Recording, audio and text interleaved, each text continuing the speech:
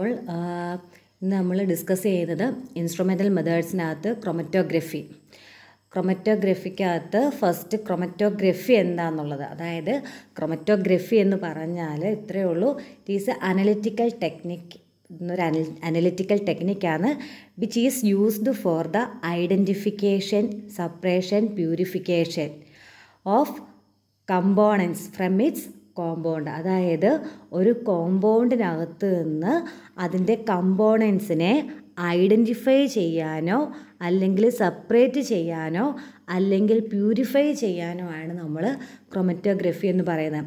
ഇപ്പോൾ ഒരു മിക്സ്ചർ എന്ന് പറയുന്ന അല്ലെങ്കിൽ ഒരു കോമ്പൗണ്ട് എന്ന് പറയുന്ന നമ്മൾ എക്സാമ്പിളായിട്ട് പ്ലാന്റ് എക്സ്ട്രാക്റ്റ് അതായത് ആൽക്കലോയിഡ് അതുപോലെയുള്ള ഇതുണ്ടല്ലോ പ്ലാന്റ് എക്സ്ട്രാക്റ്റ് ആ ആൽക്കലോയിഡിൽ നിന്ന് കഫീനെയും നിക്കോട്ടിനെയും വേർതിരിച്ചെടുക്കാൻ വേണ്ടിയൊക്കെയാണ് നമ്മൾ സാധാരണഗതിയിൽ ക്രൊമറ്റോഗ്രഫിക് ടെക്നിക്ക് യൂസ് ചെയ്യുന്നത്. ഈ ക്രൊമറ്റോ ക്രൊമറ്റോഗ്രഫിക് ടെക്നിക്കിന് രണ്ട് ഫേസ് ഉണ്ട്. ഒന്ന് സ്റ്റേഷനറി ഫേസും ഒന്ന് മൊബൈൽ ഫേസും. സ്റ്റേഷനറി ഫേസ് എന്ന് പറയുന്നത് സോളിഡ് അല്ലെങ്കിൽ ലിക്വിഡ് ആകാം. ഈ സോളിഡ് എന്ന് പറയുന്ന സ്റ്റേഷനറി ഫേസിനകത്ത് നമ്മൾ സിലിക്ക സിലിക്ക ജെൽ അതുപോലെയുള്ള ഇനേർട്ടായിട്ടുള്ള സോളിഡാണ് സ്റ്റേഷനറി ഫേസ് ആണ് നമ്മൾ യൂസ് ചെയ്യുന്നത്. ലിക്വിഡ് അതായത് ഇനേട്ടായിട്ടുള്ള ഹെക്സൈൻ ടൊളിബിൻ അതുപോലെയുള്ള ലിക്വിഡാണ് നമ്മൾ സ്റ്റേഷനറി ഫേസിൽ ലിക്വിഡായിട്ട് യൂസ് ചെയ്യുന്നത്. ഇനി മൊബൈൽ ഫേസ് മേ ബി എപ്പോഴും എന്തായിരിക്കും? Liquid or gas. നമ്മൾ ക്രൊമറ്റോഗ്രഫിക്കകത്ത് ഗ്യാസ് ക്രൊമറ്റോഗ്രഫി ഒഴിച്ച് ബാക്കി എല്ലാ ക്രൊമറ്റോഗ്രഫിക്കകത്ത് നമ്മൾ ഫേ മൊബൈൽ ഫേസ് ആയിട്ട് യൂസ് ചെയ്യുന്നത് ലിക്വിഡ് ആയിരിക്കും ഓക്കെ. ഗ്യാസ് ക്രൊമറ്റോഗ്രഫിക്കകത്ത് മാത്രമാണ് നമ്മൾ മൊബൈൽ ഫേസ് ആയിട്ട് ഗ്യാസ് യൂസ് ചെയ്യുന്നത്. ഓക്കെ. നെക്സ്റ്റ് ഈ ക്രൊമറ്റോഗ്രഫിക് മെത്തേഡ് നിങ്ങൾക്ക് പഠിക്കാനായിട്ടുള്ള chromatographic method column chromatographic method thin layer chromatographic method high pressure liquid chromatographic method and gas chromatographic method ഇനി കോളം ക്രൊമറ്റോഗ്രഫിക് മെത്തേഡാണ് നമ്മൾ ഇപ്പോഴത്തെ ക്ലാസ്സിൽ ഡിസ്കസ് ചെയ്യുന്നത്. ഈ കോളം ക്രൊമറ്റോഗ്രഫിക് മെത്തേഡിനെ നമുക്ക് എക്സാമിന് സെപ്പറേഷൻ ഓഫ് അതായത് which which which technique is അല്ലെങ്കിൽ which chromatographic method is used for the separation of non volatile organic compound ഇങ്ങനെ ഒരു ക്വസ്റ്റ്യൻ കണ്ടു കഴിഞ്ഞാൽ നമ്മുടെ ആൻസർ എന്ന് പറയുന്നത് കോളം ക്രൊമറ്റോഗ്രഫി എഴുതാം ഹൈ പ്രഷർ ലിക്വിഡ് ക്രൊമറ്റോഗ്രഫി എഴുതാം. ഈ രണ്ട് ക്രൊമറ്റോഗ്രഫി എഴുതാം. അതായത് നോൺ വോളറ്റൈൽ അതായത് നോൺ വോളറ്റൈൽ എന്ന് പറഞ്ഞാൽ ഇവാപ്രേറ്റ് ചെയ്ത് പോവാത്ത സാമ്പിൾ ഇവാപ്പറേറ്റ് ചെയ്ത് പോവാത്ത ഓർഗാനിക് കോമ്പൗണ്ടിനെ നമ്മൾ എങ്ങനെ ഏത് ക്രൊമറ്റോഗ്രഫി വെച്ചാണ് സെപ്പറേറ്റ് ചെയ്യുന്നതെന്ന്. നമുക്ക് ആൻസർ എഴുതാവുന്നത് കോളം ക്രൊമറ്റോഗ്രഫി എഴുതാം അടുത്ത ക്രൊമറ്റോഗ്രഫി എന്ന് പറയുന്നത് ഹൈ പ്രഷർ ലിക്വിഡ് ക്രൊമറ്റോഗ്രഫി എഴുതാം. ഓക്കെ അപ്പോൾ കോളം ക്രൊമറ്റോഗ്രഫി എന്താണെന്നുള്ളത് കോളം ക്രൊമറ്റോഗ്രഫിക്കകത്ത് നമ്മൾ സാധാരണയായിട്ട് യൂസ് ചെയ്യുന്നത് ഗ്ലാസ് ട്യൂബാണ്. കോളം ക്രൊമറ്റോഗ്രഫിക്കകത്ത് നമ്മൾ സാധാരണ യൂസ് ചെയ്യുന്നത് ഒരു ഗ്ലാസ് ട്യൂബാണ്.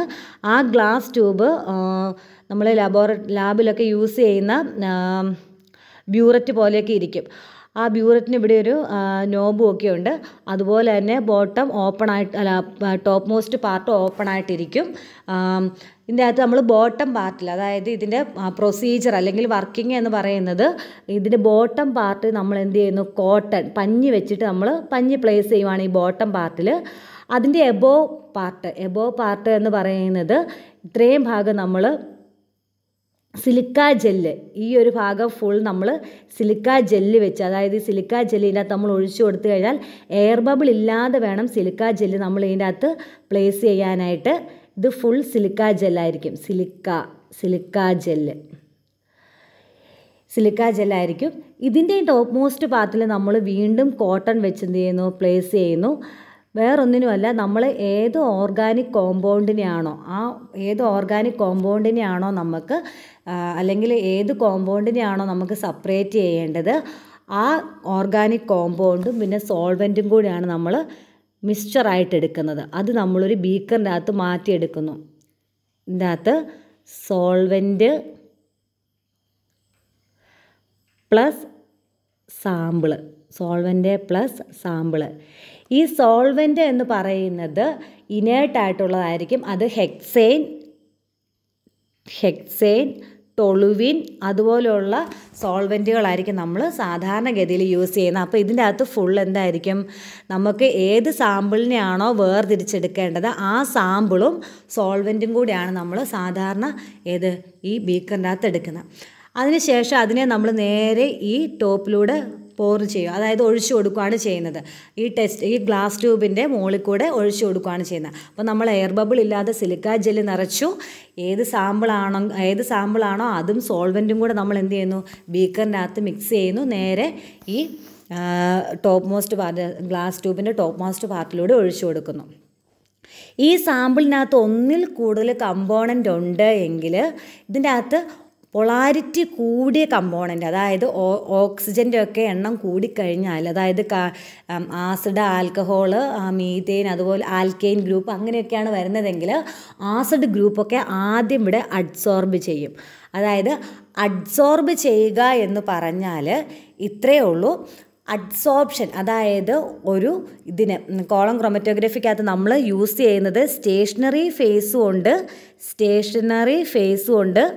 മൊബൈൽ ഫേസും ഉണ്ട് സ്റ്റേഷനറി ഫേസും ഉണ്ട് മൊബൈൽ ഫേസും ഉണ്ട് സ്റ്റേഷനറി ഫേസ് അതുപോലെ തന്നെ മൊബൈൽ ഫേസും ഉണ്ട് ഈ സ്റ്റേഷനറി ഫേസ് എന്ന് പറയുന്നത് സിലിക്ക ജെല്ലാണ്. സ്റ്റേഷനറി ഫേസ് ആയിട്ട് നമ്മൾ സിലിക്ക ജെല്ലാണ്.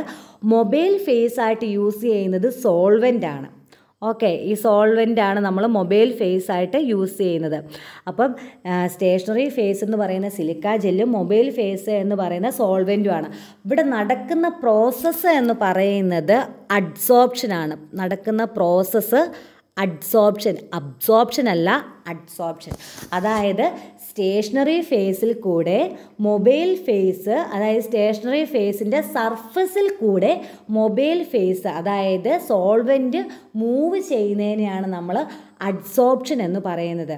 അതായത് സ്റ്റേഷനറി ഫേസിന്റെ സർഫസിൽ കൂടെ മൊബൈൽ ഫേസ് മൂവ് ചെയ്യുന്നതിനെയാണ് നമ്മൾ എന്ത് പറയുന്നത് അഡ്സോപ്ഷൻ എന്ന് പറയുന്നത്. അപ്പോൾ ഇവിടെ silica gel silica gel paste ചെയ്തിരിക്കുന്നു. സോൾവെന്റ് പ്ലസ് സാമ്പിൾ നമ്മൾ ഒഴിച്ചു കൊടുക്കുന്നു. പൊളാരിറ്റി കൂടിയ സോൾവെന്റ് അല്ല പൊളാരിറ്റി കൂടിയ സാം അതായത് ആ സാമ്പിളിന്റെ അകത്ത് പല കമ്പോണന്റ് കാണും. ആ കമ്പോണന്റിനെ വേർതിരിക്കാനാണ് നമ്മൾ ഈ ക്രൊമറ്റോഗ്രഫി യൂസ് ചെയ്യുന്നത്. അതിനെ സഹായിക്കാനാണ് സോൾവെന്റും കൂടി അതിന്റെ അകത്ത് ഒഴിച്ചു കൊടുക്കുന്നത്. അപ്പോൾ ഈ സാമ്പിളിന്റെ അകത്ത് പൊളാരിറ്റി കൂടിയ കമ്പോണന്റ് ആദ്യം ഇവിടെ അഡ്സോർബ് ചെയ്യും. അതായത് ഇവിടെ ഒരു ബാൻഡ് പോലെ കാണിക്കും ഒരു വര പോലെ കാണിക്കും. അത് ആ സാമ്പിളിന്റെ അകത്തുള്ള സാമ്പിളിനകത്തുള്ള ഒരു കമ്പോണന്റ് ആണ് പൊളാരിറ്റി കൂടിയ കമ്പോണന്റ് ആണ്. ഇനി ഒന്നിൽ കൂടുതൽ കമ്പോണന്റ് ഉണ്ട് എങ്കിൽ കുറച്ചുകൂടെ ഈ സോൾവെന്റ് വിടം കൊണ്ട് തീർന്നു പോയെങ്കിൽ നമ്മൾ വീണ്ടും സോൾവെന്റ് തന്നെയായിട്ട് മുകളിൽ കൂടി ഒഴിച്ചു കൊടുക്കുക. അപ്പോൾ എന്ത് സംഭവിക്കും? ഇതിന്റെ അകത്ത് ഈ സോൾവെന്റ് താഴത്തോട്ട് ഇറങ്ങുന്ന കൂട്ടത്തിൽ തന്നെ അതായത് താഴത്തോട്ട് ഇറങ്ങുന്ന പോലെ തന്നെ എന്ത് ചെയ്യും? സോൾവെന്റിന്റെ കൂട്ടത്തിൽ ഇത് സാമ്പിളും വേർതിരിയും. അടുത്ത ഏതെങ്കിലും ഒരു കമ്പോണന്റ് ഉണ്ട് എങ്കിൽ അത് ഇതിന്റെ അകത്ത് അടുത്ത ബി അതായത് അടുത്ത പൊളാരിറ്റി കുറഞ്ഞത്. പിന്നെ അടുത്ത പൊളാരിറ്റി കുറഞ്ഞത് ഏറ്റവും ലാസ്റ്റ് എന്ത് ചെയ്യും? മൂന്നെണ്ണം ഉണ്ടെങ്കിൽ അടുത്ത പൊളാരിറ്റി കുറഞ്ഞ ഏറ്റവും ലാസ്റ്റ് ബ്രോണ്ട് കാണിക്കും. അതായത് ഇപ്പം നമ്മൾ ഈ ബാൻഡ് എന്ന് പറയുന്നത് നമ്മൾ ഇപ്പോൾ എക്സാമ്പിൾ പറയുകയാണെങ്കിൽ നമ്മൾ പ്ലസ് ടുവിനൊക്കെ ലബോറട്ടറി ചെയ്തിട്ടുള്ളതാണ് നൈട്രേറ്റിന്റെ ടെസ്റ്റ് നൈട്രേറ്റിന്റെ ടെസ്റ്റിനകത്ത് നമ്മൾ ബ്രൗൺ റിംഗ് ടെസ്റ്റ് നമ്മൾ concentrated H two S O four സൈഡിൽ കൂടെ ഗ്ലാസ് ട്യൂബിന്റെ സൈഡിൽ കൂടെ കെയർഫുള്ളി നമ്മൾ ആഡ് ചെയ്ത് കഴിയുമ്പോൾ രണ്ട് ലിക്വിഡിന്റെയും ജംഗ്ഷനിൽ നമുക്ക് ബ്രൗൺ റിങ് ഫോം ചെയ്യുന്നു. അത് നമ്മൾ കണ്ടിട്ടൊക്കെ ഉള്ളതാണ് അതുപോലെ തന്നെ ഒരു ബ്രൗൺ ആ ഒരു എക്സാമ്പിൾ പറഞ്ഞു ഉള്ളൂ. അതുപോലെ തന്നെ ബ്രൗൺ റിങ് അല്ലെങ്കിൽ യെല്ലോ കളർഡ് റിങ് അല്ലെ ബാൻഡായിട്ട് ഇങ്ങനെ ഫോം ചെയ്യും. ഈ ബാൻഡ് അതായത് നമ്മൾ വീണ്ടും ഇതിനെ സെപ്പറേറ്റ് ചെയ്യുക എന്ന് പറഞ്ഞാൽ ഇത് ഈ കോളത്തിൽ കടന്നുകൊണ്ട് കാര്യമില്ല. ഇത് താഴത്തൂടെ ഈ ട്യൂബിലൂടെ ഇറങ്ങി വന്നാലേ നമുക്ക് സെപ്പറേഷൻ നടക്കുള്ളൂ. അതിനുവേണ്ടി നമ്മൾ വീണ്ടും വീണ്ടും ഇതിന്റെ അകത്ത് നമ്മൾ ലാർജ് എമൗണ്ട് സോൾവെന്റ് ആഡ് ചെയ്തുകൊണ്ടിരിക്കും അപ്പോൾ ഏറ്റവും പൊളാരിറ്റി ഇപ്പോൾ നമുക്ക് നോക്കിയാൽ തന്നെ അറിയാം ഏറ്റവും താഴെ കിടക്കുന്ന സി ആ പൊളാരിറ്റി കുറഞ്ഞത്. ഏറ്റവും താഴെ കിടക്കുന്നത് ആദ്യം നമുക്ക് കളക്ട് ചെയ്യാൻ പറ്റും അല്ലേ? അപ്പോൾ ഇതിനകത്ത് വരുമ്പോഴത്തേനും ഏറ്റവും ആദ്യം കളക്ട് ചെയ്തേക്കുന്ന സി അത് കഴിഞ്ഞ് പിന്നെ ലാസ്റ്റ് അത് കഴിഞ്ഞ് സെക്കൻഡ് ലാസ്റ്റ് ബി അത് കഴിഞ്ഞ് ഏറ്റവും ലാസ്റ്റ് നമ്മൾ കളക്ട് ചെയ്യുന്നത് എ ആയിരിക്കും. അല്ലേ? ഇതാണ് സപ്പറേഷൻ അതായത് കോളം ക്രൊമറ്റോഗ്രഫിക്കകത്ത് പറയാനായിട്ടുള്ളത് സപ്പറേഷൻ ഓഫ് ഓർഗാനിക് കോമ്പൗണ്ട് ഇത് ഇത് വർക്കിംഗ് മനസ്സിലായെന്ന് വിചാരിക്കുന്നു. ഇനി അടുത്ത ഇതിലോട്ട് പോകാം അതായത് അതിന്റെ ഒരു വർക്കിംഗ് അത് എഴുതിയ വർക്കിംഗ് കാണിച്ചിരിക്കുന്നതേ ഉള്ളൂ. ഇത് നമ്മൾ പറഞ്ഞത് തന്നെയാണ്. Column chromatography is a method used to separate and purify the components from mixture of compound. അതായത് ആ കോമ്പൗണ്ടിൽ നിന്ന് ഒന്നുകിൽ സെപ്പറേറ്റ് ചെയ്യുകയോ അല്ലെങ്കിൽ പ്യൂരിഫൈ ചെയ്യാൻ വേണ്ടിയാണ് നമ്മൾ കോളം ക്രൊമറ്റോഗ്രഫി യൂസ് ചെയ്യുന്നത്. നമ്മൾ ഓൾറെഡി പറഞ്ഞ കാര്യമാണ്. അടുത്തെന്ന് പറയുന്നത് സ്റ്റേഷനറി ഫേസ് സ്റ്റേഷനറി ഫേസ് എന്ന് പറയുന്നത് നമ്മൾ സിലിക്കാജിലാണ് യൂസ് ചെയ്തിരിക്കുന്നത്. അതുപോലെ തന്നെ ഇറ്റ് ഷുഡ് ഇനേട്ട് അതായത് വേറെ റിയാക്ഷനിൽ കൂടി റിയാക്ഷൻ ഒന്നും വരാൻ പാടില്ല. ഇനേട്ടായിരിക്കണം ഈ സിലിക്ക ജെൽ എന്ന് പറഞ്ഞത്. എന്നാൽ മാത്രമേ സർഫസിൽ കൂടി മൂവ് ചെയ്യുള്ളൂ. അല്ലെങ്കിൽ അബ്സോർപ്ഷൻ നടക്കും. എ ബി അബ്സോർപ്ഷൻ നടക്കും. ഇത് അഡ്സോർപ്ഷനാണ് നടക്കുന്നത്. അത് കാരണം വേറെ റിയാക്ഷനിലൊന്നും പങ്കെടുക്കത്തില്ല. കമ്പോണൻസിനെ വേർതിരിക്കാൻ മാത്രമേ യൂസ് ചെയ്യാൻ യൂസ് ചെയ്യുന്നുള്ളൂ. ഇനി സ്റ്റേഷനറി ഫേസ് ഈസ് യൂസ്ഡ് ആ silica gel carefully poured into the column. നമ്മൾ ആ ഇതിന്റെ ഗ്ലാസ് ട്യൂബിന്റെ മുകളിൽ കൂടെ എയർ ബബിൾ ഇല്ലാതെ സിലിക്ക ജെല്ല് പേസ്റ്റ് ചെയ്തതിനകത്തൂടെ എയർ ബബിൾ ഇല്ലാതെ തന്നെ നമ്മൾ എന്ത് ചെയ്യുന്നു?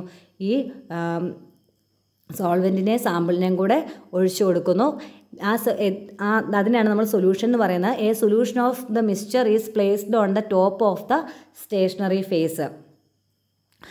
പിന്നെ എലിവന്റ് ഈ സോ സ്ലോലി അത് എലിവന്റ് എന്ന് പറയുന്നത് എന്താ?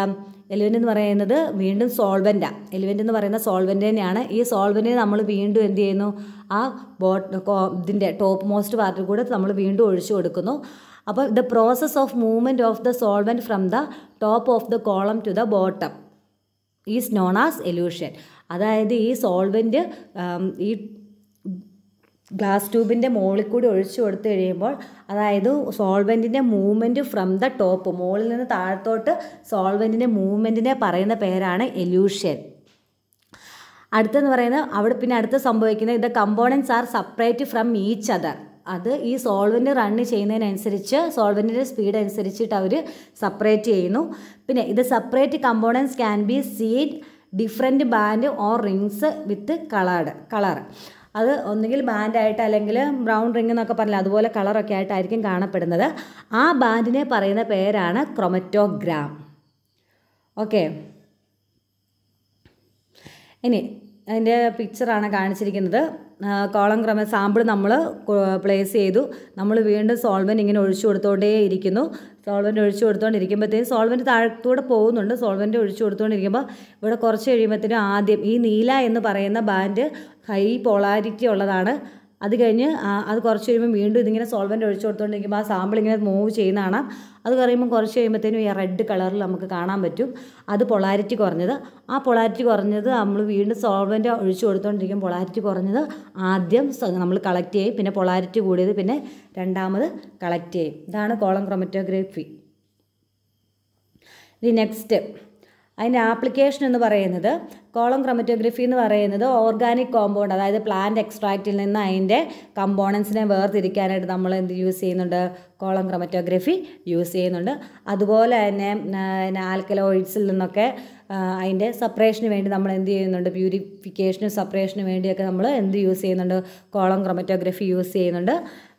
നെക്സ്റ്റ് ഐഡന്റിഫിക്കേഷൻ അതായത് ആ കോളം ക്രൊമറ്റോഗ്രഫിക്കകത്ത് നിന്ന് സെപ്പറേറ്റ് ചെയ്ത കമ്പോണൻസിനെ വേറെ റിയാക്ഷൻസ് ഒക്കെ നടത്തി അല്ലെങ്കിൽ വേറെ ടെസ്റ്റൊക്കെ നടത്തി കഴിയുമ്പോൾ ഐഡന്റിഫിക്കേഷൻ ഏത് പ്രോഡക്റ്റാണെന്ന് നമുക്ക് ഐഡന്റിഫൈ ചെയ്യാനായിട്ട് സാധിക്കും. ഓക്കെ ഇത്രയും കോളം ക്രൊമറ്റോഗ്രഫി മനസ്സിലായെന്ന് വിശ്വസിക്കുന്നു. Okay thank